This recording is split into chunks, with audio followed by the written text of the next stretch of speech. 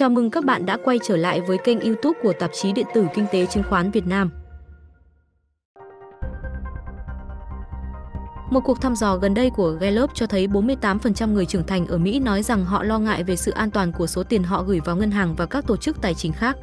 Cuộc khảo sát được thực hiện trên một mẫu ngẫu nhiên gồm hơn 1.000 người Mỹ trưởng thành vào tháng 4 sau sự sụp đổ của SVB và Signature Bank nhưng trước khi First Republic Bank sụp đổ.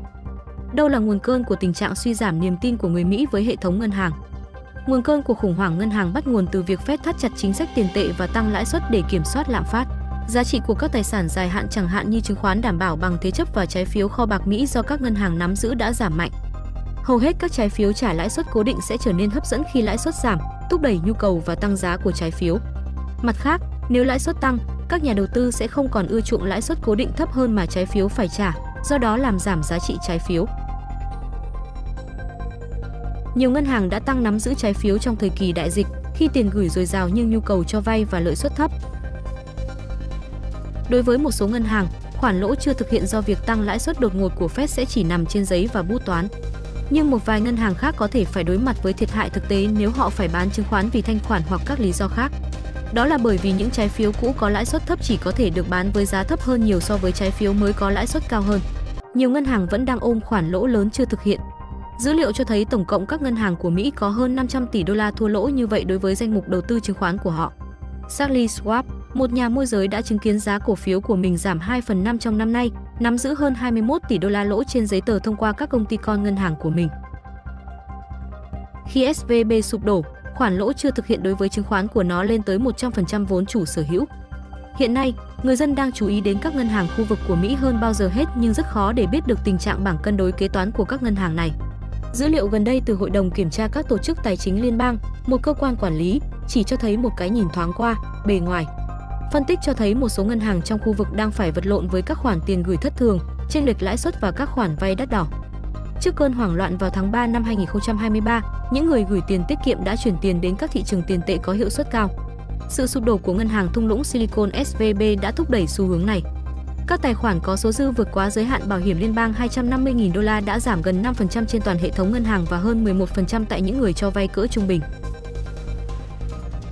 Tại PaceWest, một tổ chức ở California, tổng số tiền gửi giảm 17% và những người không có bảo hiểm giảm hơn một nửa.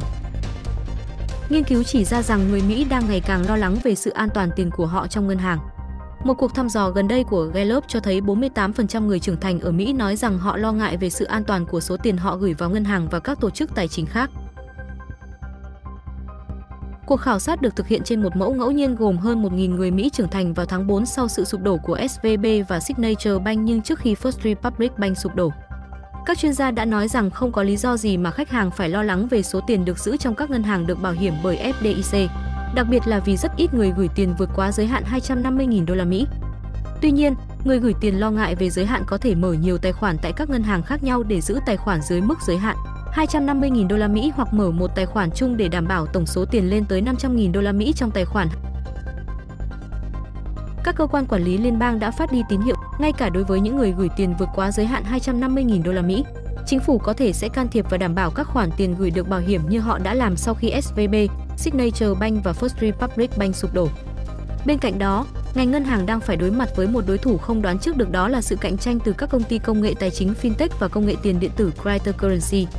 Các công ty công nghệ này đang thúc đẩy sự đổi mới và thay đổi cách mà người dùng tiếp cận và sử dụng dịch vụ tài chính. Điều này tạo ra áp lực đối với ngân hàng truyền thống để thích ứng với sự thay đổi và cung cấp các giải pháp tài chính linh hoạt và tiện ích hơn cho khách hàng. Ngân hàng Mỹ phải đầu tư vào công nghệ và đổi mới để giữ vững sự cạnh tranh trong ngành và duy trì lợi thế của mình. Với kinh nghiệm là một quan chức cấp cao tại Bộ Tài chính Mỹ trong cuộc khủng hoảng 2008, Chủ tịch Fed Minneapolis, Neil Katkari, cho biết những căng thẳng của ngành ngân hàng chưa hoàn toàn kết thúc. Ông nhận định, có thể, khi những vấn đề đó xuất hiện, mọi thứ trở nên nghiêm trọng đến mức sẽ gây cản trở cho hoạt động kinh tế. Katkari nhận định những vấn đề này càng để lâu thì các ngân hàng sẽ càng gặp khó khăn.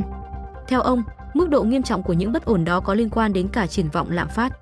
Nếu lạm phát nhanh chóng hạ nhiệt, Fed có thể hạ lãi suất vào đầu năm tới và điều này sẽ giảm bớt áp lực cho các ngân hàng.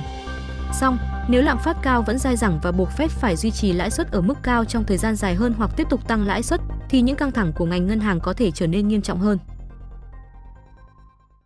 Cảm ơn quý vị đã quan tâm theo dõi.